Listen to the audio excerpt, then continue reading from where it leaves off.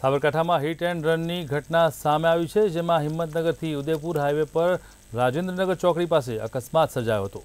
જ્યારે ચાર નબીરાઓએ ગફલતભરી ગાડી હાંકારી સાઈડમાં રાખી, ગાડી અને બાઇકને અકસ્માત સર્જ્યો છે. અકસ્માતમાં બે મહિલા અને એક પુરુષ તેમ એક બાઇક સવાર મળી ચાર લોકો ઘાયલ થયા છે.